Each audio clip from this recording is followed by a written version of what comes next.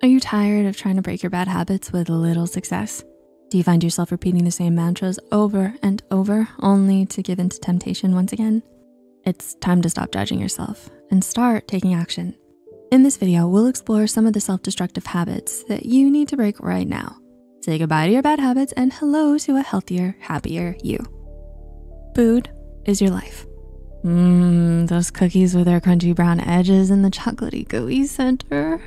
If people ever look under your bed, they will not only find such cookies, but also a stash of snacks, crackers, and every type of junk food imaginable.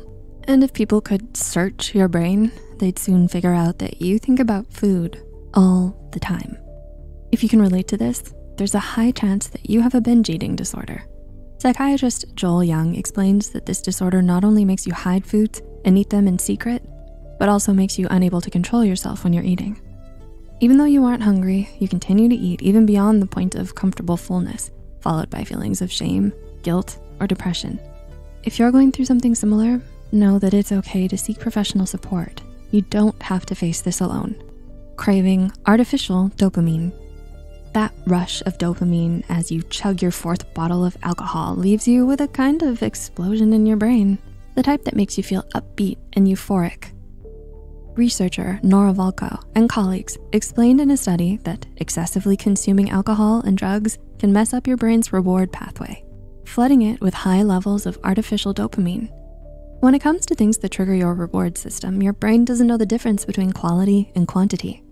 Normal, healthy activities that might activate your reward system like hugging or sleeping are pushed to the bottom of your priority list, while chronic drug or alcohol intake rises to the top. While overcoming chronic substance addiction can be a challenging journey, seeking therapy can provide a path to successfully breaking the habit and living a fulfilling life free from addiction. Overspending.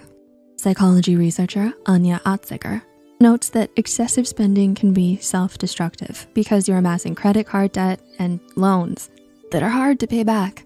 This can result in severe financial pressures and stress, which can poorly influence your emotional state and general well-being. Moreover, according to research by Sonya Britt Lutter and colleagues, your relationship could be in jeopardy when you overspend as your partner may start thinking that they can't trust you with money. As you regularly overspend, they're expected to bear the excessive expenditures, which cause them to become resentful and could result in an unfavorable dynamic in your relationship. Up late for no reason. It's the wee hours of the night and instead of sleeping, you're watching video after video on TikTok. The clock is ticking and despite knowing you should go to bed so you're not grumpy in the morning, you're still overindulging in this unconstrained leisure.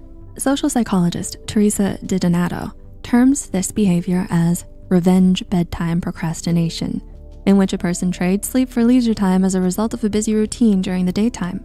In a study in the journal Healthcare, researcher Vijay Chattu and colleagues explained that this behavior is self-destructive as it can degrade your decision-making, memory, and thinking.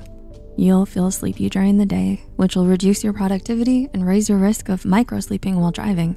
According to the sleepfoundation.org, the most effective treatment for sleep procrastination is good sleep hygiene, which incorporates healthy sleep habits and establishes a sleep-friendly atmosphere. All work and no play Another self-destructive habit is workaholism, which involves an excessive and compulsive need to work.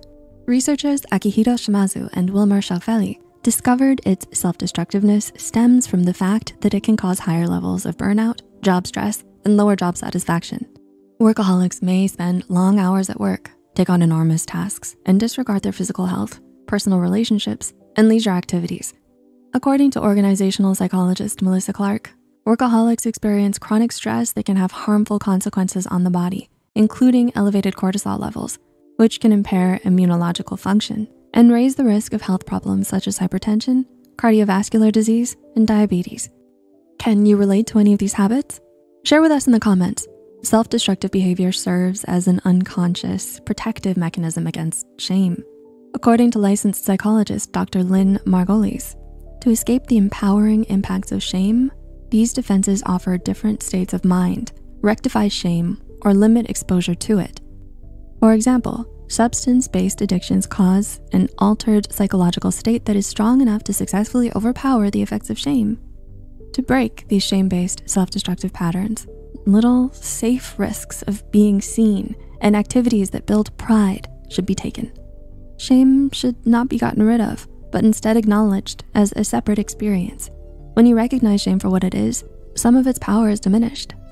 If you've enjoyed this video, remember to like and subscribe. And remember, you matter.